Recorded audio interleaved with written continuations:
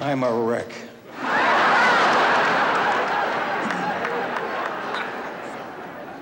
you know, when my friend A.C. Lyles told me of the plans that the AFI had for this evening, it gave me pause.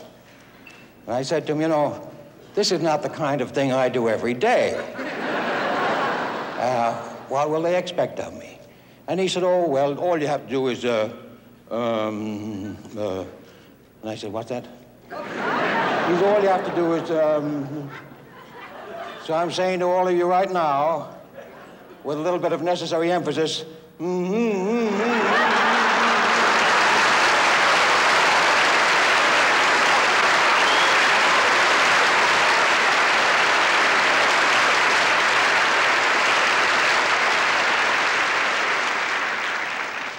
And about the award, I am very grateful for it.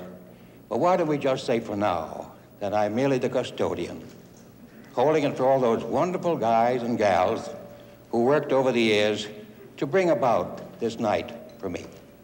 So I really mean this. I'm thanking you for them and for me. Art has had many definitions.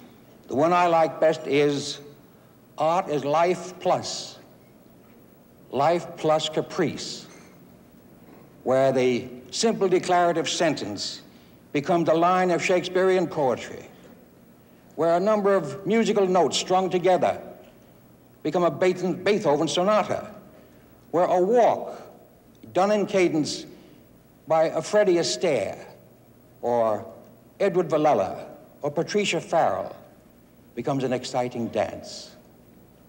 That's art. That definition is given in a chapter on art by William Ernest Hocking in a book called Strength of Men and Nations, and it's worth reading. I recommend it because of the way art affects our everyday lives. It, every time we walk out of the house in the morning, we are looking at architecture.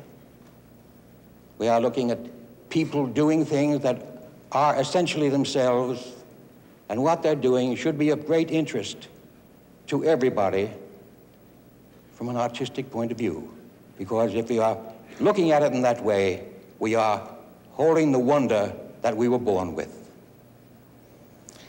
Now, after, uh, I have a great many thanks to spread about this evening. We all know an event like this doesn't get itself on. It is the result of a lot of dedicated people working at peak pitch for a great many days. So, Frankie, Frankie Sinatra, one of the neighbor's children,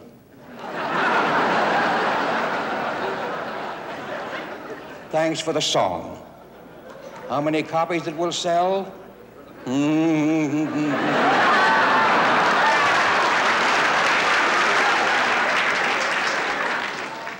And uh,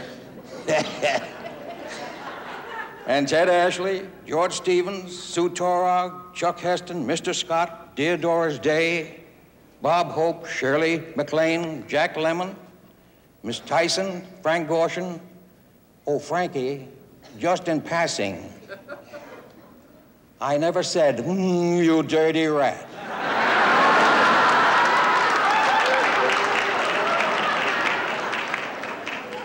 what I actually did say was, Judy, Judy, Judy.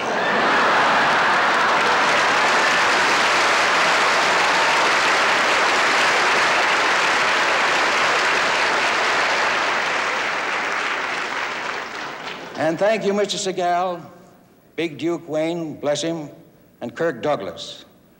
Oh, and one more thing, Frankie Gorshin. That uh, hitching of the trousers,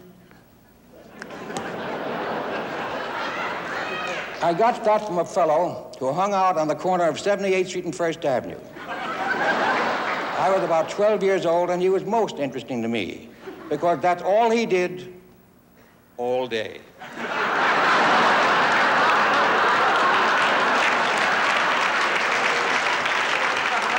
and when somebody would greet him, he didn't deign to say hello. He just stood back and did this.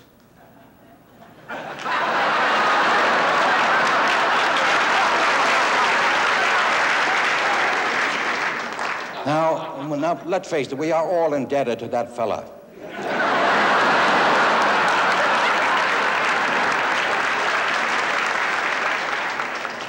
he was, a, he was a type, and we had them. Oh, how, how we did have them. Uh, I must express my gratitude to that wonderful group in the early days at Warner's, Joni Blondell, at the risk of a bit of repetition, I think you'll bear with me, Bette Davis, Odia de Havilland, Olivia de Havilland, and little Mae Clarke, who got the citrus massage. Uh, Mae, I'm glad we did not use the omelet, which was called for in one of the earlier scripts. I'll bet you're glad too.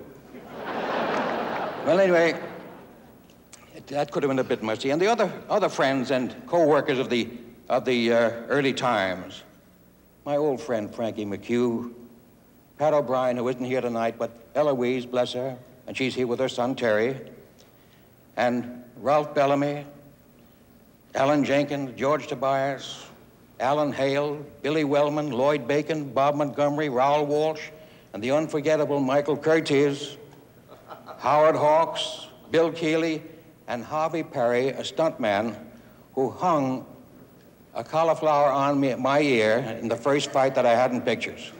I remember him well. And uh, Jack JL, Jack Warner, who gave me a name I shall always cherish, affectionately, mind you, the professional againster.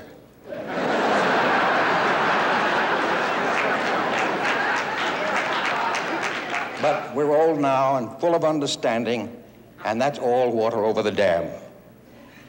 And my wife, Bill, my brother Bill, my sister Jane.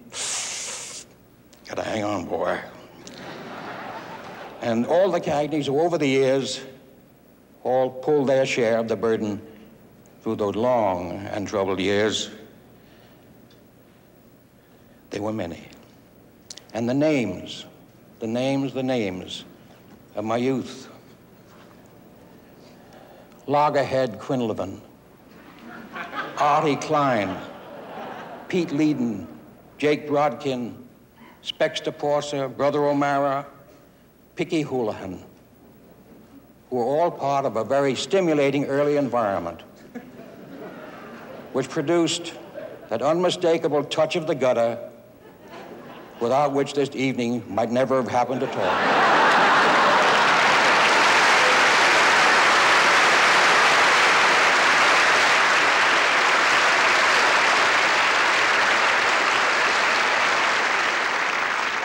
I bless them, and I bless Paul Keyes and A.C. Lyles for their labors, and bless you.